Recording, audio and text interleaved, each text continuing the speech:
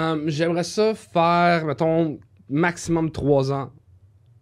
Prendre un break de 5 ans, puis refaire un autre 3 ans plus tard. Quelque chose genre- je pense qu'il y a une durée de vie à ce projet-là. Mhm.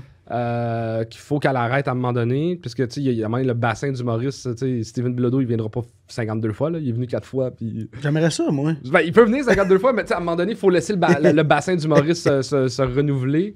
Puis le monde qui ait hâte au C'est gang ça. show, puis qui ait envie que ça revienne. C'est ça.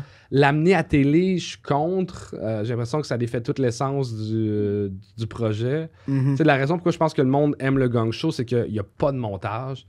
Fait qu'un mauvais numéro, il n'y a pas de rire qui est rajouté, il n'y a pas de.